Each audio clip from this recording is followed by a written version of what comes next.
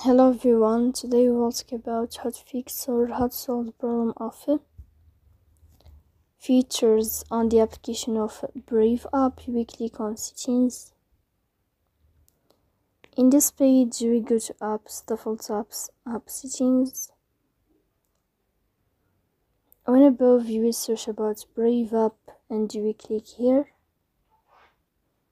Then in this page of app info will click on force stop and you will click OK. Then you will enter to the window of storage. Here you will click on clear cache.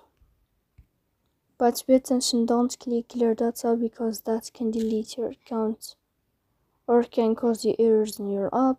In the end, you can turn off your phone and you can restart your phone again to fix that problem. So please don't forget to support us by liking